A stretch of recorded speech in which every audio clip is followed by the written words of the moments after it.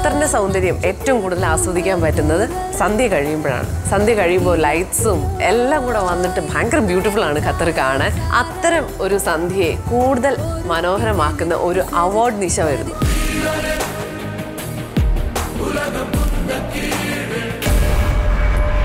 Qatar Yuva awards ഏഷ്യനെറ്റിൽ. Don Miss Tulasi Vilasan apartments Yuva awards two thousand seventeen December മുപ്പത്തിയൊന്ന് ഞായറാഴ്ച വൈകുന്നേരം ആറ് മണി മുതൽ.